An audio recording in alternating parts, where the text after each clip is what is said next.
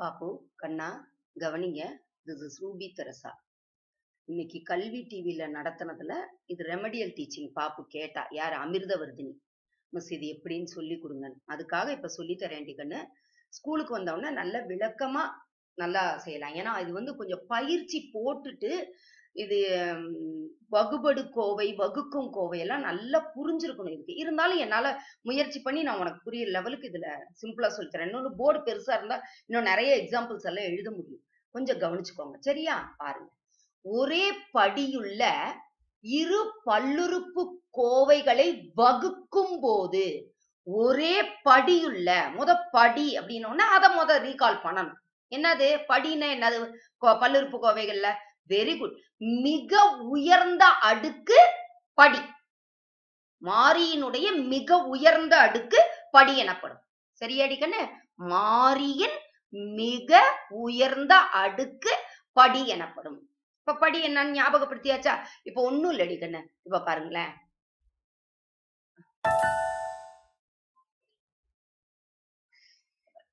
எடுத்துக்காட்டு. இது கொடுத்துருக்காங்களா? போவா இப்ப இது ஒரு பல்லுறுப்பு கோவையா? மாறி இதுல என்னது? எக்ஸ் இப்ப இதுல மிக உயர்ந்த அடுக்கு என்னடி கண்ணு? மிக உயர்ந்த அடுக்கு இதுல? வெரி குட் மூணு.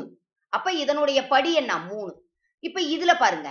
ரெண்டு எக்ஸின் அடுக்கு மூணு. ரெண்டு எக்ஸ் கியூப் மைனஸ் அஞ்சு எக்ஸ் ஸ்கொயர் பிளஸ் அஞ்சு எக்ஸ் மைனஸ் மூணு. சரியாடி கண்ணு? இது ஒரு பல்லுறுப்பு கோவை. இதனுடைய படி என்ன? மூணு. அப்ப ஒரே படியுள்ள இரு பல்லுறுப்பு கோவைகளை வகுக்கும் போது எதை பொறுத்து டேஷை பொறுத்துன்றத நம்ம என்னன்னு வச்சுக்கலாம். எதை பொறுத்து வகுபடும் மற்றும் வகுக்கும் கோவைகளை தீர்மானிக்க வேண்டும். சரியா? வகுக்கும் கோவை வகுபடும் கோவைகளை தீர்மானிக்க வேண்டும். இங்க கீழே பாருங்க. இத இத படிங்க. முன்னேற்ற சோதனைக்கு மேல குறிப்புல இது கொடுத்திருக்கிறாங்க. எஃப் ஆஃப் எக்ஸ் மற்றும் ஜி ஆஃப் எக்ஸ் இரண்டும் ஒரே படியில் அமைந்த பல்லுறுப்பு கோவைகள் எனில் ரைட்டுங்களா? ரெண்டு பல்லுறுப்பு Kovai f of x g of x இரண்டும் ஒரே படியில் இதனுடைய படி என்ன? மூணு. இதனுடைய படி என்ன? மூணு. இதனுடைய படி என்ன? மூணு. ஒரே படியில் அமைந்த பல்லுறுப்பு கோவைகள் எனில் எதை வச்சு நம்ம வகுபடும் கோவை வகுக்கும் கோவையை எடுப்போம் அப்படின்னா பெரிய எண்ணை தலையாய கெழுவாக கொண்ட இருக்கா? இருக்கா இல்லையா? இந்த பாருங்க. எனில் பெரிய எண்ணை தலையாய கெழுவாக கொண்ட கோவையை வகுபடும் கோவையாக எடுக்க வேண்டும். ரைட்டா? ஒருவேளை தலையாய கெழு சமமாக இருந்தால் தலையாய கெழுன்னு ஏண்டாக்க நான் சொல்றாங்க? இந்த ஃபர்ஸ்ட் இத பார்க்கணும் நீங்க. இதுதான் புரியுதுங்களா? மிக உயர்ந்த அடுக்குன்னு சொல்றோம்ல அதுதான். அதுக்கு வரக்கூடிய அந்த கெழுதான் என்னது? தலையாய கெழு. புரியுதுங்களா? பல்லுறுப்பு கோவைகள் எனில் பெரிய எண்ணை தலையாய கெழுவாக கொண்ட கோவையை வகுபடும் கோவையாக எடுக்க வேண்டும்.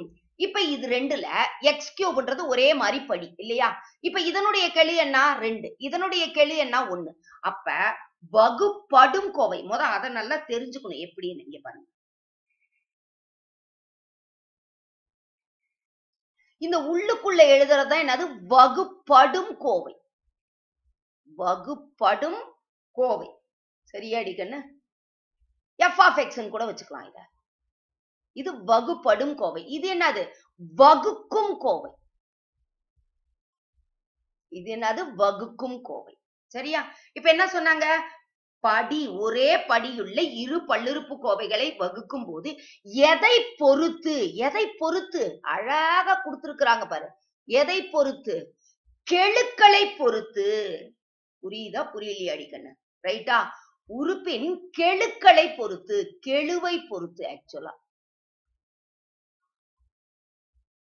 கெழுவை பொறுத்து வகுப்படும் மற்றும் வகுக்கும் கோவைகளை தீர்மானிக்க வேண்டும். சரியா? இப்ப மிக உயர்ந்த இங்க கொடுத்துருக்காங்களா? என்ன சொன்னாங்க? ஒரே படியில் அமைந்த பல்லுறுப்பு கோவைகள். இனி பெரிய எண்ணை தலையாய எது பெரிய எண்? ரெண்டு. அப்போ உள்ளுக்குள்ள என்ன வரும்? ரெண்டு எக்ஸ் கியூப் மைனஸ் அஞ்சு எக்ஸ் ஸ்கொயர்ட் பிளஸ் அஞ்சு எக்ஸ் மைனஸ் மூணு. இதுதான் எஃப் ஆஃப் எக்ஸ் அப்ப ஜி ஆஃப் எக்ஸ் எதை எடுக்கிறோம்? வகுக்கும் கோவைய x cube plus x square minus x plus ரெண்டு. சரியா? அடுத்தது இன்னொன்னு கொடுத்திருக்காங்க. ஒருவேளை தலையாய கெழு சமமாக இருந்தால் அதற்கு அடுத்த படியில் அமைந்த உறுப்பின் கெழுக்களை ஒப்பிட்டு வகுத்தலை தொடர வேண்டும். இது ரெண்டும் ஒரே மாதிரி. இப்ப இங்கேயே ரெண்டு வந்துருச்சு அப்படின்னா அடுத்தது எதை கம்பேர் பண்ணணும்ன்றாங்க? இது ரெண்டையும் கம்பேர் பண்ணும் புரியுதுங்களா? இப்ப சப்போஸ் சும்மா இன்னொரு எக்ஸாம்பிள் எடுக்கலாம். இருங்க. இன்னொரு எக்ஸாம்பிள் பாருங்க x cube plus x square plus x plus one இன்னொரு இது x cube plus two x square plus x plus two இப்போ பாருங்க இதுல ஆ, ஒரே படியா? எக்ஸ் கியூப் எக்ஸ் கியூப் ஒரே படி. இப்ப இதுல எது வகுபடும் கோவையா எடுக்கணும்? எது வகுக்கும் கோவையா எடுக்கணும்? ரைட்டா அப்ப கெழுக்களை பார்க்கணும். ரைட் தலையாய கெழு இப்ப இதுல ஒண்ணு இது ஒண்ணு. இது ரெண்டு எப்படி இருக்குது? ஒரே மாதிரி இருக்குது ரைட்டா இங்க என்ன சொன்னாங்க? ஒருவேளை தலையாய கெழு சமமாக இருந்தால். சமமா இருக்குதா இல்லையா? இதனுடைய தலையாய கெழு என்னது? ஒண்ணு. இதனுடைய கெழுவு என்னது? ஒண்ணு. அப்ப இது ரெண்டு சமமா இருக்கு. அப்படி இருந்தா அதற்கு அடுத்த படியில் அமைந்த உறுப்பின் கெழுக்களை ஒப்பிட்டு வகுத்தலை தொடர வேண்டும். அப்ப இது இது பண்ணலாம். என்னது? வெரி குட் இங்க என்ன இருக்கு? ஒண்ணு. இதனுடைய கெழு என்னது? ரெண்டு. அப்ப இதுதான் என்னது? பெரிய கெழு புரியுதா? இதுதான் என்னது? பெரிய எண்ணெய் கெழுவாக கொண்ட. புரியுதுங்களா? புரியலையா? அப்ப பெரிய எண்ணெய் கெழுவாக கொண்டனா இது என்ன ஆயிடும்? உள்ள வந்து இது என்ன இருக்கும்? வெளியில இருக்கும். புரியுதுங்களா? அதாவது இது என்னது? வகுப்படும் கோவை. இது என்ன கோவை? வகுக்கும் கோவை. புரியுதுங்களா? பெரிய கெழுவை கொண்ட கோவை. பெரிய கெழுவை கொண்ட கோவை. ஒரே படினா பெரிய கெழு. அப்ப எதை பொறுத்து இது பண்றோம்? கெழுவை பொறுத்து. புரியுதுங்களா? இங்க கொடுத்துருக்காங்களா? கெழுவாக தலையாய கெழுவாக. அதற்கு அடுத்த படியில் அமைந்த உறுப்பின் கெழுக்களை. அப்ப கெழுக்களைன்னு கூட எழுது. அடுத்த உறுப்பின் கெழுக்களை ஒப்பிட்டு கெழுவை பொறுத்து கெழுக்களை பொறுத்து. எப்படி வேணாலும் எழுதலாம்.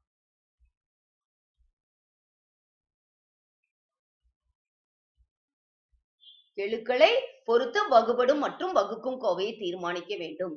அதுல ஒரு டவுட் கேட்டா மிஸ் இது பெரிய அப்படின்னு மிகப்பெரிய எண் அப்படின்னு சொல்லி சொல்றீங்களே அப்படின்னும் போது அது இந்த இடத்துல அப்படி தேவையில்லடா கண்ணா. ஏன்னா அவங்க கேட்கறது வகுப்படும் வகுக்கும் கோவைகளை தீர்மானிக்கும்னு போது கெழுக்களை பொறுத்து நீ பிரிக்கிற. வகுபடும் கோவை எதை வைத்து தீர்மானிக்க வேண்டும்னு சொன்னாதான் பெரிய எண்ணை கெழுவாக கொண்ட ஒரே படியில் அமைந்த பல்லுறுப்பு கோவையில் பெரிய எண்ணெய் கெழுவாக கொண்ட கோவையை வகுபடும் கோவையாகன்னு எழுது இந்த இடத்துல அப்படி கேட்கல அவங்க. அவங்க கேட்கறது வகுபடும் வகுக்கும் கோவைன்னு எதை வச்சு நீங்க தீர்மானிப்பீங்கன்னு தான் கேட்கறாங்க. எதை வைத்து தீர்மானிப்போம்? கெழுக்களை வைத்து தீர்மானிப்போம். புரியுதுங்களா? கெழுக்களை பொறுத்து தீர்மானிப்போம். மிகப்பெரிய கெழுவை வகுபடும் கோவையாகவும் அதை விட குறைவான கெழுவை கொண்ட கோவையை வகுக்கும் கோவையாகவும் எடுப்போம். வேற ஒண்ணும் கிடையாது. நல்லா புரியுது அடிக்கண்ணு வெரி குட் அடுத்தது அடிக்கண்ணு எஃப் ஆஃப் எக்ஸை ஜி ஆஃப் எக்ஸால் வகுக்கும் போது மீதி r of x equal to பூஜ்ஜியம் எனில் ஜி ஆஃப் எக்ஸ் ஆனது அந்த இரு பல்லுறுப்பு கோவைகளின் டேஷ் என அழைக்கப்படும். இந்த பாருங்க. இப்ப இங்க சொன்னோமா இது வகுபடும் கோவை இது வகுக்கும் கோவை. இப்ப இந்த இடத்துல மேல வர்றது என்னது? ஈவு. இங்க மேல வர்றது என்னது? ஈவு. இங்க என்ன வர்றது? மீதி. இங்க வர்றது மீதி. புரியுதுங்களா? இப்ப இங்க மீதி பூஜ்ஜியமாக இருந்தால் இங்க மீதி பூஜ்ஜியம் வந்துட்டா இந்த வகுக்கும் கோவைய நம்ம என்னன்னு சொல்லுவோம்? மீ போ வா அப்படின்னு சொல்லுவோம். புரியுதுங்களா? புரியுதா? புரியலையா? ரைட்டா? இப்ப எஃப் ஆஃப் எக்ஸை ஜி ஆஃப் எக்ஸ் ஆல் வகுக்கும் போது இது எஃப் ஆஃப் எக்ஸ்னு வச்சுக்கோங்க. எஃப் ஆஃப் எக்ஸை ஜி ஆஃப் எக்ஸ் ஆல் வகுக்கும் போது ஆர் ஆஃப் எக்ஸ் இது r of x r of x என்னன்னு வந்துருது? மீதி. பூஜ்ஜியமாக இருந்தால் ஆர் ஆஃப் எக்ஸ் பூஜ்ஜியம் வந்துருச்சுன்னா இந்த வகுக்கும் கோவையை நம்ம என்னன்னு சொல்லுவோம்? மீ போ வா என அழைப்போம். இதுக்கு பேரு வகுக்கும் கோவை. ஆனா மீதி வந்து ஜீரோவா வந்துருச்சு அப்படின்னா இந்த வகுக்கும் கோவை என்னன்னு பேர் மாறிடுது. மீப்போவா என அழைக்கப்படும். புரியுது அடிக்கண்ணு ஒரு மாடல் பார்க்கலாமா புக்ல இருக்கிறத? ஒரு நிமிஷம். இங்க பாருடா கண்ணா. இப்ப இங்க கொடுத்துருக்காங்களா? இது எஃப் ஆஃப் எக்ஸ் இது என்னது? ஜி ஆஃப் எக்ஸ் இப்ப இங்க பாருங்க மீதி ஜீரோ ஆயிருக்குதா? இல்ல. மீதி வந்து பூஜ்ஜியம் ஆகல. இப்ப மறுபடி இப்படி தொடர்ச்சியா அந்த வகுத்தலை செஞ்சுக்கிட்டே வராங்க. செஞ்சுட்டு வராங்களா வரலையா? இப்ப பாருங்களேன். ரைட்டா? இப்ப செஞ்சுட்டு வரும்போது இது உள்ளுக்குள்ள இருக்கிறது இப்ப என்னது இது? வகுபடும் கோவை. இது என்னது? வகுக்கும் கோவை. ரைட்டா? இப்ப மீதி என்ன வந்துருச்சு? பூஜ்ஜியம் வந்துருச்சு. அப்ப இந்த வகுக்கும் கோவைய என்னன்னு சொல்லலாம் நம்ம. ஆஹ் மீ போ வா அப்படின்னு சொல்லலாம். புரியுதா? இது என்னன்னு சொல்லலாம் நம்ம? மீ போ வா அப்படின்னு சொல்றோம். சரியாடி கண்ணு இந்த எக்ஸ் மைனஸ் ரெண்டு அப்படின்றத மீப்போவா அப்படின்னு சொல்லுவோம். இந்த மூணு வந்து ஏற்கனவே நம்ம எடுத்ததுனால அதை சேர்த்திருக்காங்க அடிக்கனே அதெல்லாம் வச்சு கன்ஃபியூஸ் பண்ணிக்க கூடாது நீங்க. இப்ப நான் சொல்றது புரியுதா புள்ளியா இது வந்து வகுப்படும் கோவை இது வகுக்கும் கோவைன்னு வச்சுக்கோங்க. இது வகுபடும் கோவை இது வகுக்கும் கோவை. அப்ப இது பூஜ்ஜியம் வரும் பொழுது இதை என்னன்னு சொல்லலாம் நம்ம. மீப்போவா அப்படின்னு சொல்லலாம். புரிஞ்சுதா புரியலையா? வெரி குட் அடுத்தது கவனிடிக்கண்ணு f of x equal to உள்ளுக்குள்ள இருக்கிறது எஃப் ஆஃப் எக்ஸ் ராகண்ணா ரைட்டா அதை எதால வகுக்கிறோம்? ஜி ஆஃப் எக்ஸால வகுக்கிறோம். ரைட்டா அடுத்தது என்னது? மேல q of x q of x into g of x plus r of x will give you f of x கண்ணு இங்க பாருங்க. ஒன்றும் இல்லை. நம்ம ஒரு ஒரு எண் எடுத்துக்கலாம்டி கண்ணு இதுல. பத்து அப்படின்னு எடுத்துக்கிறேன். எனக்கு கோவை எடுத்தா ரொம்ப டைம் எடுத்துரும் அதனால. இப்ப இத மூணால வகுக்கிறேன். மும்மு ஒன்பது மீதி என்ன? ஒண்ணு. இப்ப இந்த பத்து அப்படின்றத எப்படி நம்ம பண்ணலாம்? மூணு பெருக்கல் மூணு பிளஸ் ஒன்னு ரைட்டுங்களா? மூணு பெருக்கல் மூணு பிளஸ் ஒன்னு இப்ப இது என்னது? நமக்கு எஃப் ஆஃப் எக்ஸ் இது என்னது? கியூ ஆஃப் எக்ஸ் இது இது என்னது? இது ஜி ஆஃப் எக்ஸ் இது ஜி ஆஃப் எக்ஸ் இது கியூ ஆஃப் எக்ஸ் புரியுதுங்களா?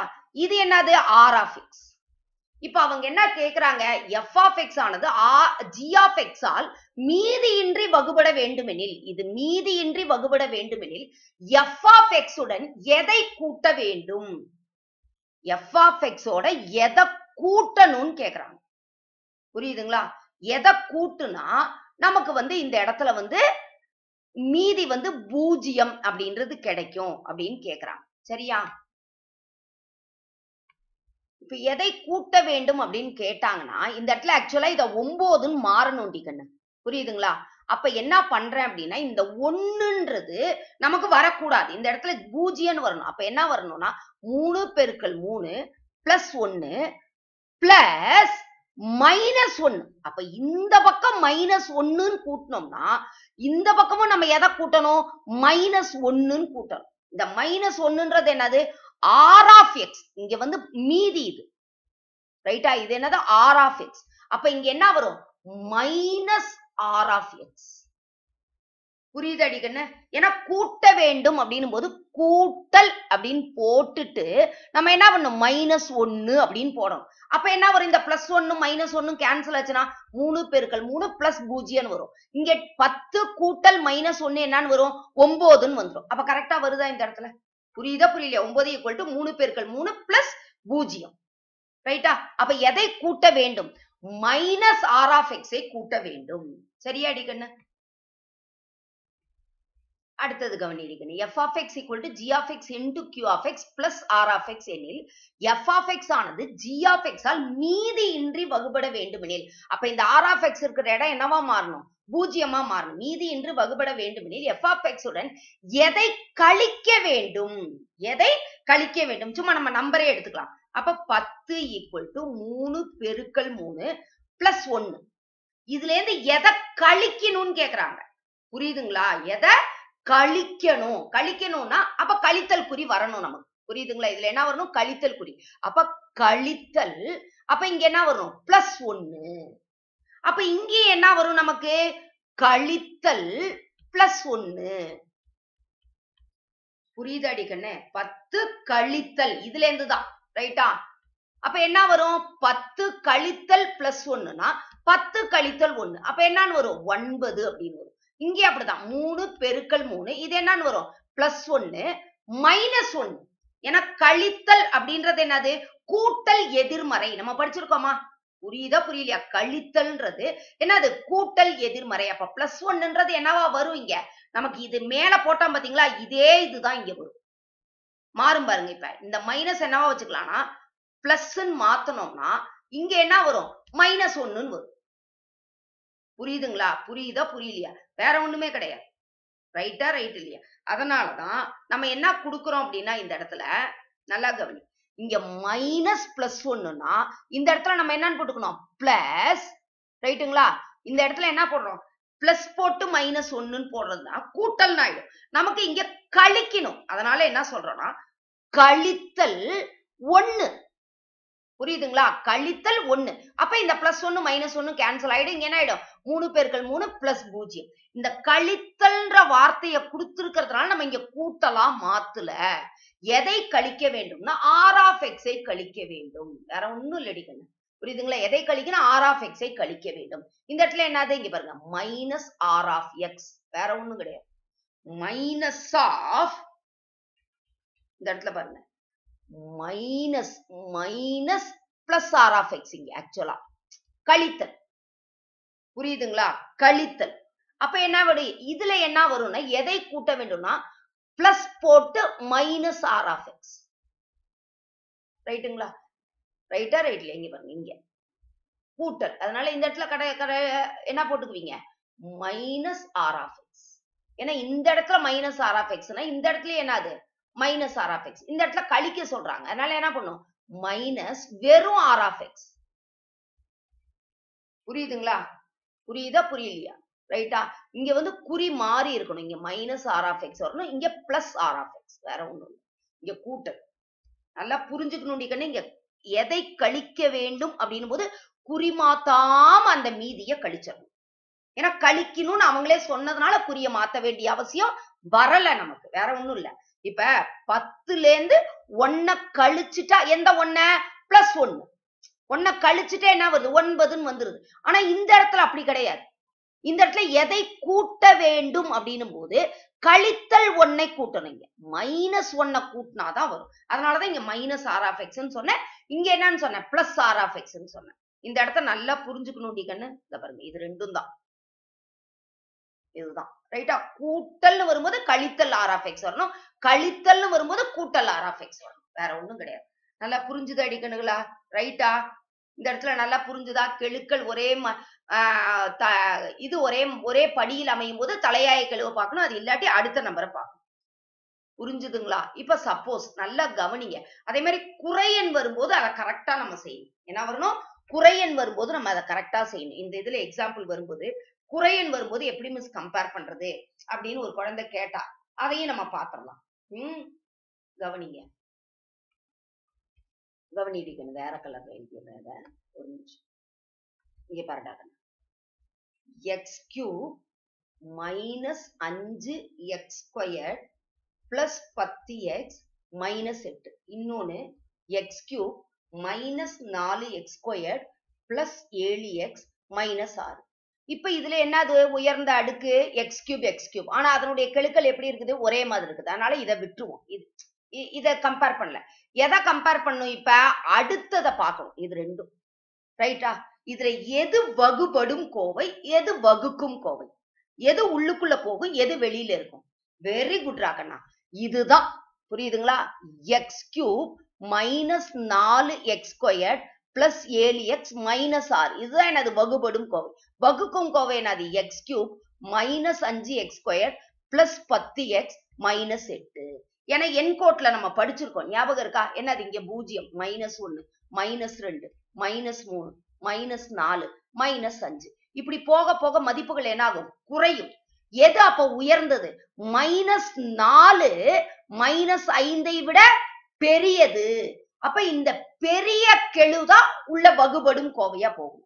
புரிஞ்சுட்டீங்களா? அதனால இந்த மைனஸையும் நான் இதுல சொல்லி கொடுத்துட்டேன். சரியாடிக்கணும் அதனால மைனஸ் வரும்போது எப்படி மிஸ் வர்றதுன்னு அவ கேட்டா. அதனால அந்த பாப்புக்கு தான் ரொம்ப தேங்க்ஸ் சொல்லணும். அதனால நல்ல ஞாபகம் வச்சுக்கோ. அதனால இதுதான் பெருசு. அதனால என் கோட்ல பாருங்க. அப்ப மைனஸ் அஞ்சுன்றது என்ன? அது சின்னது. அதனால அது என்ன கோவையா வந்துருச்சு? வகுக்கும் கோவையா வந்துருச்சு. மைனஸ் நாலுன்றது பெருசு. அதனால அது என்னவா வந்துருச்சு? வகுபடும் கோவையா வந்துருச்சு. புரியுது அடிக்கண்ணு தேங்க்யூ